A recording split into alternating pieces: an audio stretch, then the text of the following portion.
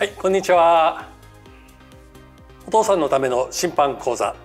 今日はですね恋落球とインフィールドフライについてお話しします。この2つのルールはね実はよく似ているようでてちょっと違う。きっちり説明できるね方がなかなかいないんですよ。混同しがちなんです。今日はねその2つのプレーについて説明します。まずインフィールドフライ。故意落球まあ故意落球っていうのは intentional drop ball っていうんですけども共通していることがある。ツーアウトからは起きないんです。ツーアウトからは起きない。ね。ノーアウトかワンアウトで起こりうるプレーです。でまずインフィールドフライ。あるケース。ノーアウトワンアウトでランナーが1、2塁あるいは1、2、3塁ね。この時ありますね。ノーアウトかワンアウトで1、2塁あるいは1、2、3塁勘違いしないでください。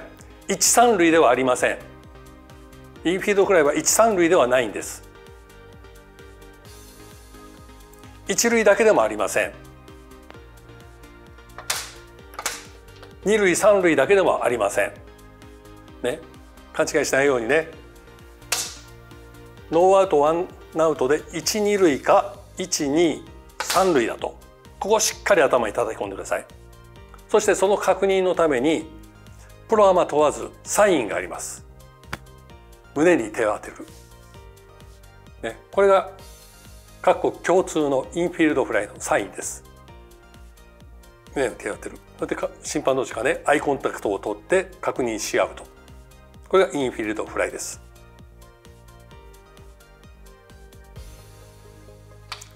頭入りましたね。次に、恋落球。恋落球が起こるのは、先ほど言いましたように、ツーアウトではありません。ノーアウトかワンアウトでとにかく走者がもう原則一塁にいること。一塁にいたらあるんです。恋野球はね。だから一塁にいて一二塁でもあるし一二三塁満塁でもあるし一三塁でもあります。ね、ただし三塁だけとか二三塁の時この時はありません。大原則とにかくここだけ覚えてください。恋打球っていうのは走者が一塁にいる時だと。一塁にいる時。でノーアウトかワンアウト。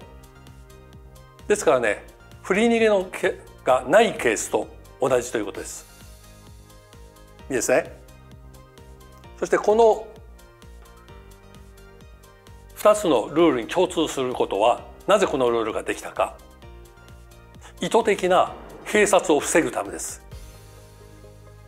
相手を騙すための閉殺を崩すためというルールなんです。ね。ですからいや例えば内野に一二塁だと。ね。はいショートフライが上がりました。わざと取らないでワンバウンドで取って簡単にゲッツー取れてしまうんですよ。ね、だって走者はフライが取られると思って動かないですから。ですからわざと例えばショートはね取らないではいまず送球を三塁に投げます。はいこの走者アウトにします。次二塁に投げます。この走者アウトにします、ね、このように意図的に併殺を企てることができる。それを防ぐルールなんです。でインフィールドフライの一つの基準。これは内野に上がったフライです。そして普通の状態で普通の守備力があれば容易に取ることができる。そう判断したらインフィールドフライ。右手を高く上げて宣告します。これは誰が宣告してもいいです。4人の審判がいるならば球審がやってもいいですし一塁がやっても二塁がやっても三塁がやってもまあ原則点は一番近いところにいる審判が手を挙げてください。一番奥行きなんかも分かりますからね。球審からですとやっぱりこういった奥行きがちょっと分かりにくい。一塁にいればね一塁のどれぐらい後方か三塁の審判もしっかりです。距離感がつかみやすい。近い人が上げて構いません。インフィールドフライ。はっきり大きな声で言ってください。でこの瞬間に打者はアウトになります。打者はアウトになるんです。たとえ落球してもアウトなんです。でこのインフィールドフライの後ろには必ず if fair という言葉がついてます。if fair つまりフェアの打球だったらインフィールドフライですよ。そういう意味です。ね、ですからもしそれが風で流されてファールテリトリーに落ちた。もし補給すればアウトですよ。ただのアウトですけどももし補給できなかった。そしたらファールです。ただのファールです。ね、そういうことをしっかり頭に入れてください。インフィードフライは必ず if fair フェアテリトリーの中にあった時に成立する。それで宣告された瞬間に打ったバッターはアウトになる。ですからもうこのバッターはねインフィールドフライと言われた瞬間にアウトになっているからもしこの走者が塁を離れていた。ね。フォースの状態じゃないんですよ。だから次の進塁戻るにしても行くにしてもフォースじゃありませんから全部タッグプレーになります。捕球されていた場合には。これをね勘違いしないでくださいね。あ例えば落球した落とした慌てするんですよ。ほんで例えばセカンドでインフィールドで上がっただけどセカンドが落としてしまった。慌ててセカンド投げる。あ落球したんだからフォースプレーだな。思っちゃダメなんです。だってもうインフルドフライト入れた瞬間にこのバッターはアウトになっているんだからこのランナーが進塁するにしても戻るにしてもタッグタッグプレーになるんですね。フォースプレーじゃありません。通常に取ったんだったらこの戻るプレーここはフォースになります。ここがねちょっと面倒なとこなんですよ。混乱しがちなんです、ね、でも冷静に考えてくださいね。いいですか？インフィールドフライ。宣告した瞬間にバッターはアウトなんだと。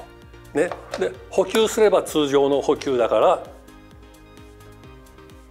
こっちは戻る走者に対してはフォースプレーです。もし落球したらバッターはアウトになってんだからこの走者の戻るにしても進塁にしてもタッグプレーになるんだ。ここねしっかりね理解してくださいね。でインフィールドフライの宣告するタイミングですけども気をつけなきゃいけないのはね風が強い日です。風が強いと実際あった例えばマリンスタジアム風が強いので有名なんですけどもあインフィールドで上げよう思ったところが大きく流されててファールスタンドに入ってしまった。こういうこともままあるんです。だから慌てないでくださいね。で完全に補給体制に入ったと確認できる状態。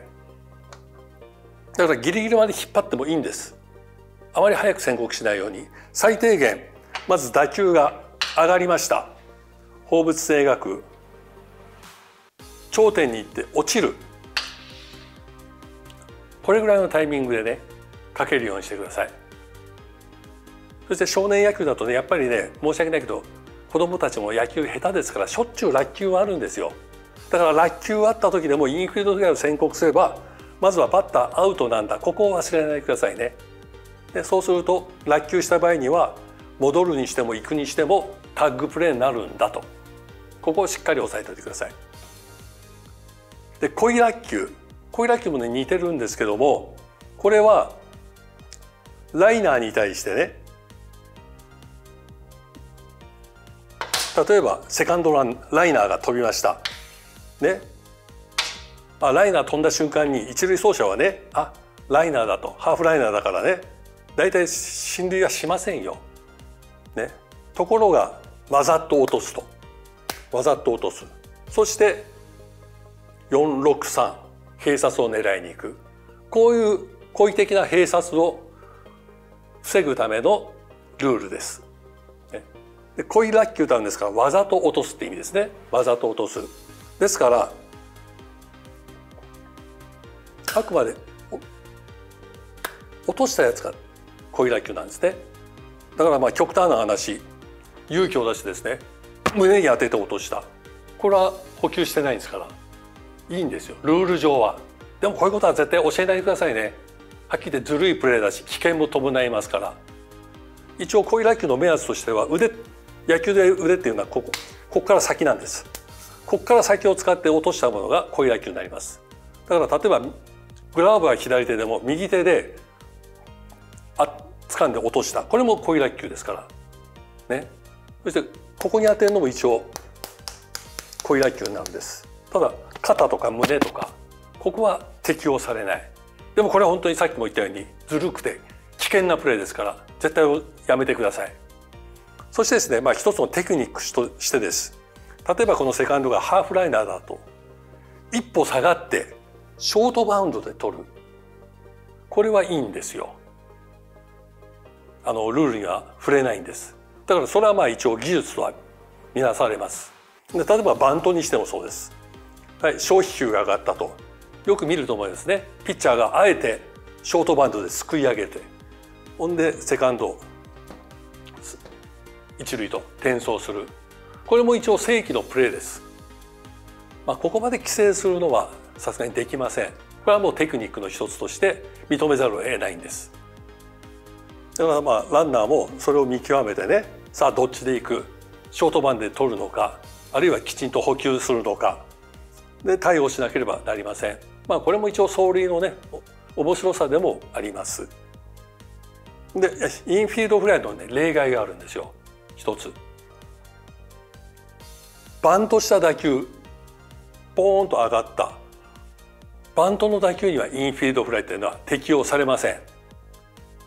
これ唯一の例外です。バントの打球にはインフィールドフライは適用されません。これをしっかり覚えてください。そしてですねたまたまですよ。セカンドベースあるいは一塁三塁どこでもいいんですけどもインフィールドフライが上がった宣告された打球。それが